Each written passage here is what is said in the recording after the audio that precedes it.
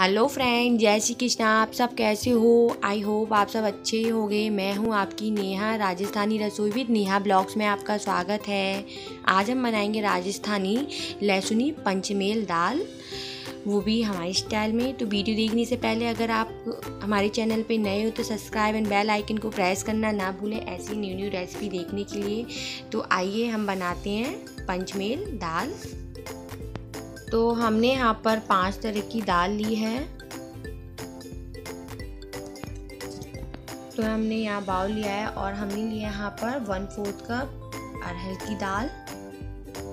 हमें दाल की क्वांटिटी बराबर रखनी है और हमने यहाँ पे वन फोर्थ कप उड़द की दाल ली है, धुली हुई।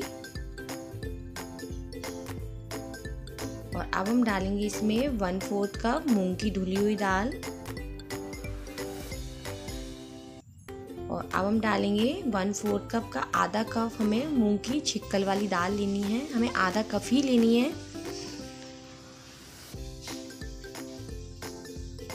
और अब हम डालेंगे इसमें वन फोर्थ कप चने की दाल। तो इन सभी दालों को हमें मिक्स कर लेना है और इसको पानी डाल के हमें चार से पाँच बार धो लेना है अच्छे से, जिससे इसका पाउडर निकल जाए दालों का। तो यहाँ पर हमने दाल को अच्छे से धो लिया है तो हम इसमें डालेंगे पानी। और पानी डालकर हम इसे एक घंटे के लिए सोख होने के लिए रख देंगे, जिससे दाल अच्छे से भीग जाए।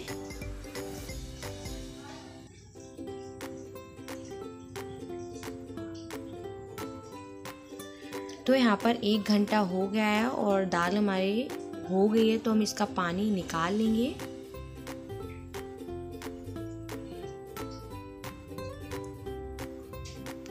हमने पानी डाल कर निकाल लिया तो हम इसे एक कुकर में डाल लेंगे, दाल को। तो यहाँ पर हमने दाल को कुकर में निकाल लिया तो हम डालेंगे आधी चम्मच हल्दी पाउडर और एक चम्मच नमक। नमक आप अपनी टेस्ट के अकॉर्डिंग कम या ज़्यादा कर सकते हैं। और इसमें हम डालेंगे डेढ़ गिलास पानी। पानी हमें ज़्यादा नहीं डालना है। डेढ़ गिलास या दो गिलास पानी डाल लीजिए, दाल जिससे अच्छे से डूब जाए। और इसको मिक्स करने के बाद हम इसका ढक्कन लगा के गैस पे रख देंगे। तीन से चार सीटी आने तक। अगर आपके कुकर में सीटी देर से आती है तो आप दो ही सीटी लीजिए। अगर कुकर में जल्दी सीटियाँ आती है तो चार से पाँच सीटियाँ ले लेनी है। तो यहाँ पर हमारी दाल हो गई है। दाल एकदम घुर गई है। तो अब हम करते हैं तड़के की तैयारी। तो गैस पे हमने कढ़ाई रख ली है। गैस का फ्लेम हमने बिल्कुल लो रखा है और हमने इसमें एक बड़ी चम्मच तेल डाल लिया है। तो तेल गरम हो गया है यहाँ पर। तो अब हम डालेंगे इसमें एक चुटकी हींग। और अब हम डालेंगे इसमें दो लाल मिर्च सूखी हुई। और हम डालेंगे इसमें चार से पाँच लौंगे।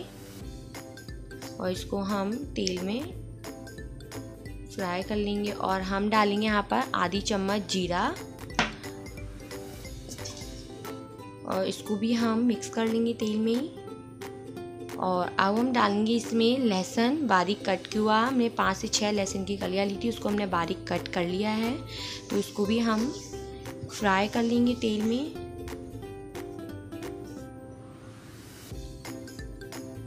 तो अब हम डालेंगे अदरक, बारीक कट हुआ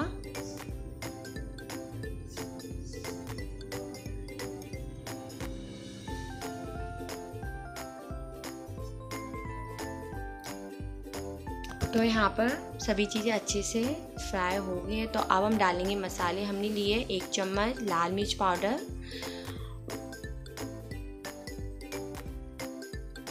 और इसको हम तेल में अच्छे से भून लेंगे। और हम डालेंगे बारीक कट हुआ टमाटर।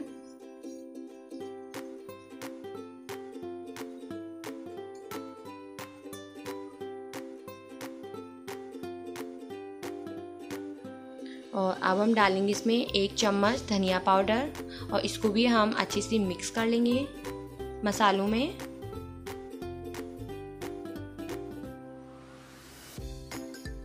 और अब हम डालेंगे नमक। नमक हम आधी चम्मच ही डालेंगे क्योंकि हमने दाल में भी नमक डाला है तो आप अपने टेस्ट के अकॉर्डिंग कम या ज़्यादा कर सकते हैं नमक को। और इसको हम अच्छे से मसालों को भून लेंगे जिससे टमाटर अच्छे से सॉफ्ट हो जाए। तो यहाँ टमाटर अच्छे से सॉफ्ट हो गए हैं।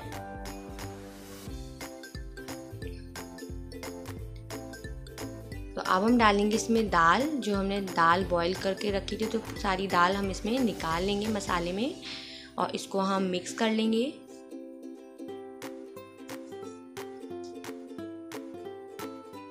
और गैस का फ्लेम अब हम हाई कर लेंगे जब तक इसमें बॉयल नहीं आती है दाल में।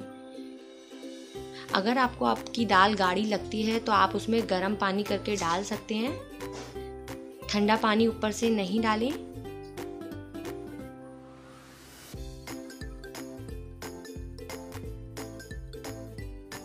तो अब हम डालेंगे इसमें आधी चम्मच गरम मसाला पाउडर। और इसको भी हम मिक्स कर लेंगे।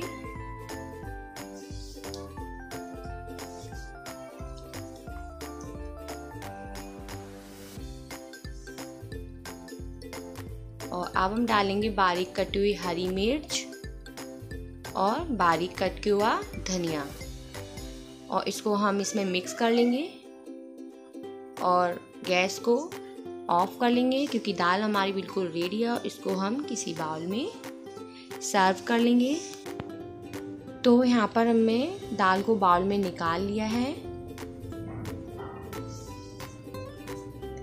इस तरीके से और दाल हमारी बिल्कुल तैयार है तो हम ऊपर से डालेंगे इसमें मसाले वाला तेल गार्निशिंग के लिए।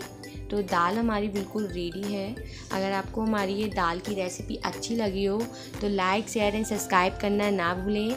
ऐसी हमारी अच्छी अच्छी रेसिपी हो ज़्यादा से ज़्यादा शेयरिंग करें अपनी फैमिली एंड फ्रेंड्स का thank you and Jai Shri Krishna आप सभी को।